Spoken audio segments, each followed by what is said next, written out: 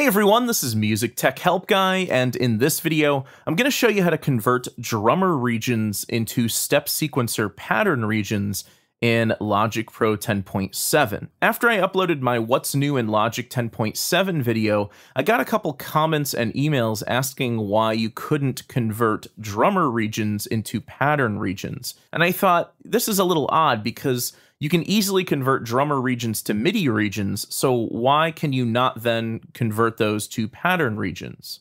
And if you're not familiar with this update in Logic 10.7, you can now convert any MIDI region, or almost any MIDI region, to a pattern region, and it'll convert it into a format where you can use the step sequencer rather than having to use the piano roll. So this perplexed me a little bit because you can convert any drummer region easily to a MIDI region just by right clicking or control clicking and going down to convert and then convert to MIDI region. So then I figured, well, you just right click again, go down to convert and select convert to pattern region, but there's no option for it here.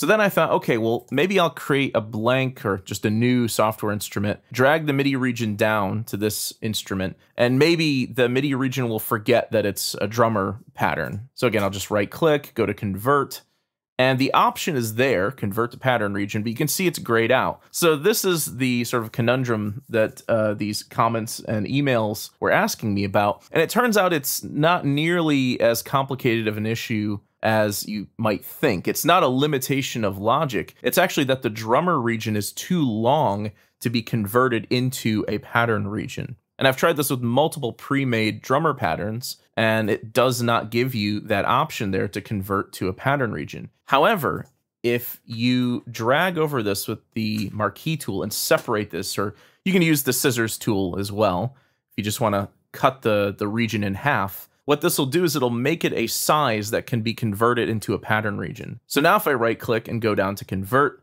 uh-oh, it's still not there. So why is it not there? It's because there is a limitation on drummer tracks with the ability to convert a drummer region over to a pattern region. So if all you do is just select the drum track, double click down here to create a new um, software instrument, then right click, go down to convert, and now you can convert this to a pattern region. So that's all it took. You just had to convert the drummer region to a MIDI region, drag the MIDI region down to a new blank software instrument, convert to a pattern region, and then you can just drag these right back up to the drummer track and they should play back normally. And you can edit all of these patterns right here within the step sequencer instead of having to use the piano roll editor.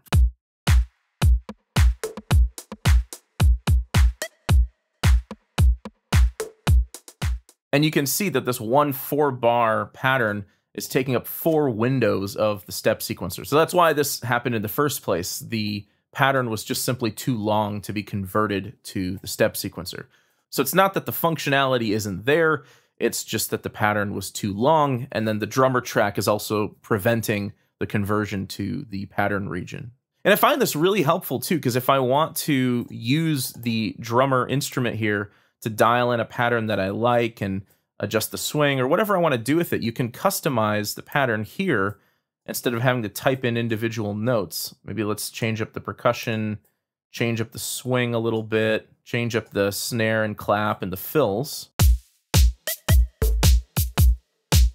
So now I've got more of like a swung beat. All I have to do at this point is, again, right click, convert this to MIDI, create a new software instrument track, pull this down to that software instrument track, split the region in half, and then right click and convert to a pattern region for each of these. And then I can pull these back up to that instrument and then just carry on about my business in the step sequencer. So that's a quick workaround to convert drummer regions into pattern regions in Logic 10.7. Again, this functionality is not in Logic 10.6 or earlier. You have to have Logic 10.7 in order to convert to pattern regions. I hope you guys enjoyed this video. If you did, please leave it a thumbs up and subscribe to the channel to see more content like this. And leave me a comment below and let me know what other Logic 10.7 tutorials you would like to see. As always, thank you for the support and thanks for watching.